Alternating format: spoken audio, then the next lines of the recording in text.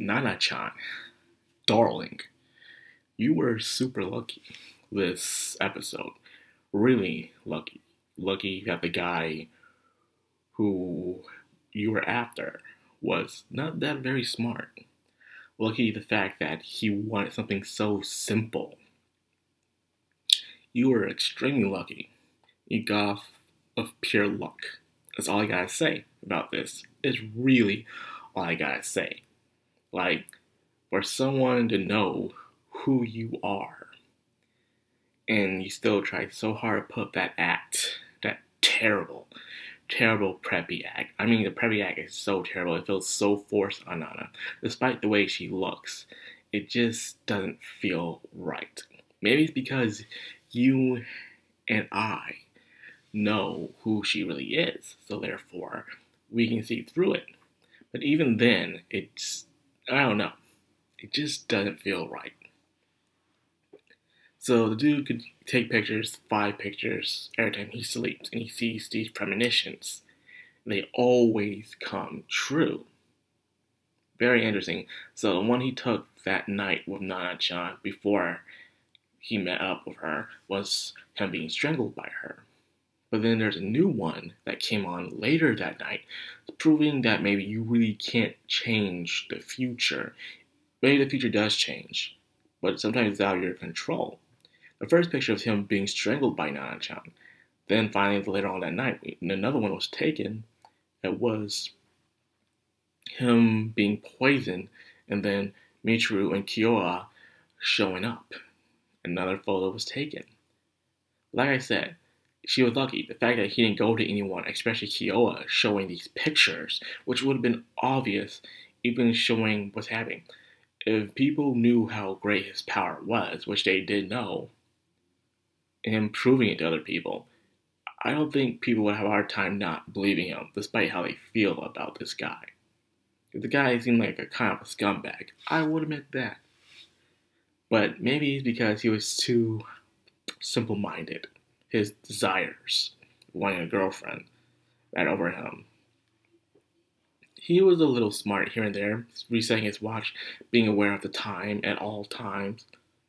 But Nana was a bit on the mark a little when it came to poisoning him. But not because she changed fate herself, but in fact, fate decided to change itself from his death, which was very interesting. Then, of course, we have our boy, my best boy, Kyoya, being, of course, always suspicious. And I am so, so, so tired of the hum- enemy of humanity excuse. I can't stand it. I really can't stand that excuse. It is a terrible excuse, by the way. It really is. Oh, Uh, but it looked like he was stabbed or perjured. Well, I heard he can do curses and stuff like that, but no one can see these things ever. They can never see him coming. How do you expect a bunch of kids on an island the train and and not be well guarded by at least the military or someone to show them that these enemies are going to attack you and no one's talking about it? I'm the same people. it's ridiculous, you know. These kids be more secure and better trained. We all know, you and I both know, it's a hoax, it's, it's fake, a scheme. But still, I would at least make the scheme to be, I don't know, more believable. You know, having the military people there or something, and they just keep hush hush about it. Because in history, there are a lot of dirty things were covered up in different countries, including our own where they say it was something else, but something else really did happen behind the scenes. They just covered up really well. So how things were working here kind of made it feel like the government's not doing a well off job to really cover up what's going on. Maybe from the outside, but from the inside, I don't know. Well, that being said, Kyoya still suspects not, no matter how hard she tries, even when it comes to the photo. If his photos did come true, why did he die instead of Nana-chan? You know, he showed a photo even breaking down how well people actually would be attacked.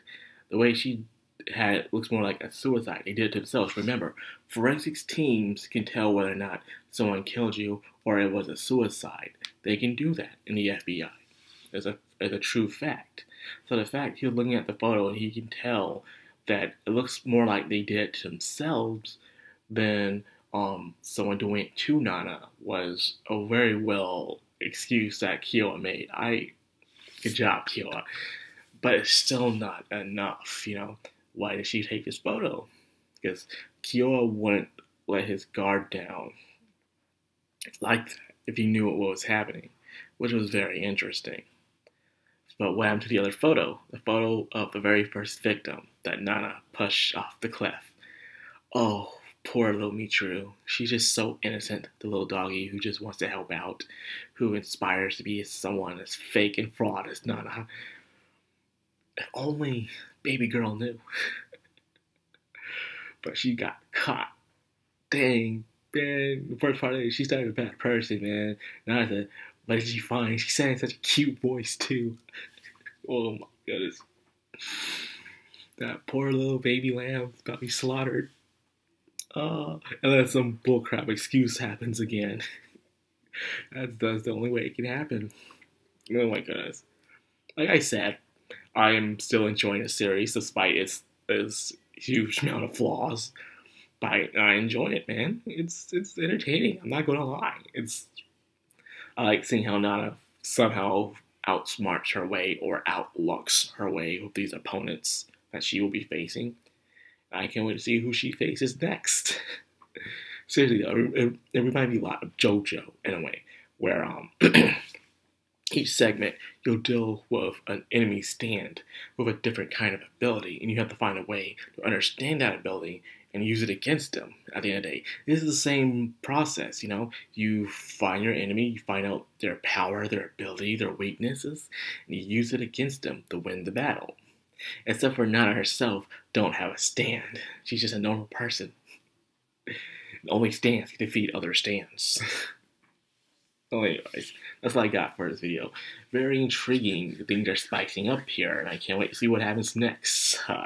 so anyway, if you enjoy Talk Nana and you actually like my content, for those who decide to stay around, like, comment, subscribe, and of course, hit that bell icon. This has been MadCrown on Anime.